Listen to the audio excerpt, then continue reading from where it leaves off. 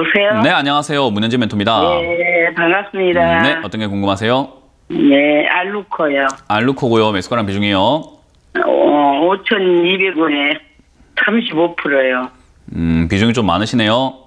네. 그리고 비싸게 샀고요.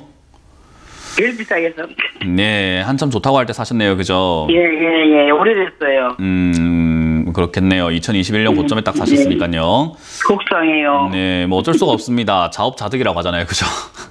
어, 그냥 알고 샀으면 딱 좋은데 왜 이렇게 사냐라는 거죠. 지금 아, 보면은. 왜 제가 자업자득이라고 하냐면은 누가라고 할 필요 없어요. 내가 샀잖아요. 그죠? 예, 예. 네, 결국은 우리 차트를 한번 바로 보도록 할게요.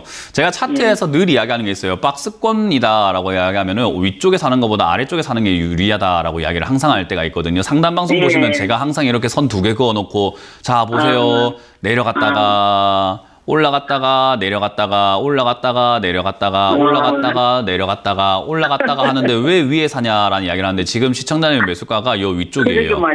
아유, 지금 이 색깔을 제가 시청자님 매수가를 검은색 선으로 이렇게 바꿔보니까 저기 사신 거예요. 시청자님 딱 매수가거든요. 최악이죠, 그죠? 그래서 네. 제가 자업자득이다라고 하는 거죠. 왜냐하면 이거를 제가 방송에서 수십 번, 수백 번 알려주고 있거든요. 사람들은 네. 또 그래요. 내려왔을 때 여기가 저점인지 어떻게 합니까? 저점에 살려고 하지 않아도 돼요. 그냥 사서 들고 있으면 어떻게 된다? 올라가는 거예요. 여기 들고 있으면 어떻게 된다? 올라가는 거예요. 여기 들고 있으면 어떻게 된다? 올라가는 거예요. 여기 들고 있으면 어떻게 된다고요? 올라가는 거예요. 그러니까 내려왔을 때 안 좋다 그러고 사지 마라 그러고 난리가 나거든요. 역별 누가 사냐 이런 거 사지 마라 하는데 이런 거 사 놓으면 돼요. 사 놓으면 기다렸을 때 뭐가 된다고요?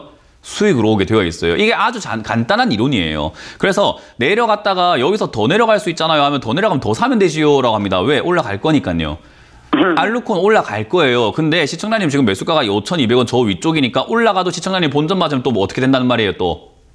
그렇죠. 또 내려간다는 말이에요. 그러니까 내가 억울하지만 이번 이번 박자는 놓쳤으니까 내 본전에 팔고 다음번에 내려오면 어떻게 하면 돼요? 몇 년이 걸리든 간에 내려왔을 때 뭐 하시면 된다는 거예요? 네, 그때는. 사면 돼요. 살려고 하면 주변에서 말릴 거고 누가 사지 마라고 할 거고 전문가한테 상담해도 그런 걸 왜 삽니까 할 거고 이런 거 손들어세우라고 할 겁니다. 그래도 뭐 어떻게 해야- 된다고요? 내려가면 사야죠. 그렇죠. 그것만 기억하시면 돼요. 네. 그게 주식의 기본이에요. 내려왔을 때 사서 올라갈 때 팔면 돼요. 이 자리가 저점인지 알, 뭐 아닌지 알 필요가 있다 없다? 그러게 말이에요. 없어요. 그래서 이거는 지금 추가 매수 안 하고 그냥 들고 가시면 되겠고요. 올라가면은 본전 찾으시면 될 것 같아요. 본전까지는 갈 수 있으니까 그냥 holding 하시고요. 갈수 있겠어요, 추가 매수는 안? 하시는 걸 추천드려 보도록 하겠습니다. 지금 추가 매수하기 비중이 너무 많으세요.